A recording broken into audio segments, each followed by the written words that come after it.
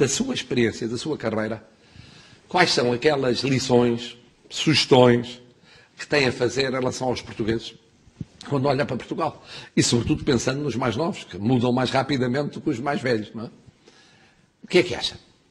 Bom, o que eu acho é que meu a minha aprendizagem, obviamente, vem das minhas raízes, como como foi na Madeira, saí muito jovem, 11 anos, um, depois foi para Lisboa, aquele período, depois tive aquele passo uh, mais importante da minha vida que foi ir para, para o estrangeiro.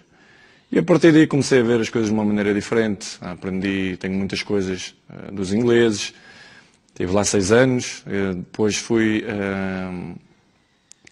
para aqui, para, para Madrid, e tenho um pouco a cultura uh, desses seis países, Portugal, Espanha e Inglaterra. E vejo Por exemplo, Portugal... os ingleses, o que é que aprendeu?